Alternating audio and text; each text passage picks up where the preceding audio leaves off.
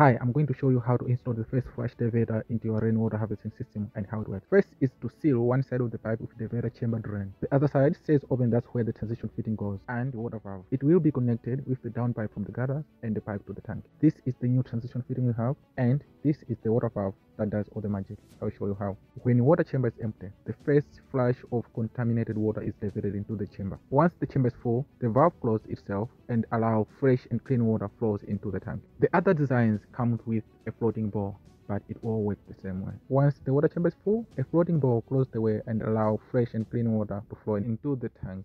I was not able to save the old transition fitting, so we had to buy a new one and it's a little bit different. The previous one, it needed PVC glue to join all the parts together, but this one has rubbers. So as you can see, I'm patiently fitting each part one by one, the rubber and the curve, everything, the pipe, to make sure it's all connected. So far the water valve looks it's fit perfect. Now let's see it's going to join where I want it to join. Yes, but I need a little short pipe to join to the downpipe from the gutter. There it is. Now I just have to do the measurement from the transition to the tank. It's rain focus that is perfect because you're going to see how it flushes. So here we go. It's all fitted and now let's go and see if it's going to flush after the rain. Guys, what do you think about this? Drop a comment, subscribe to the YouTube channel. Thank you for watching.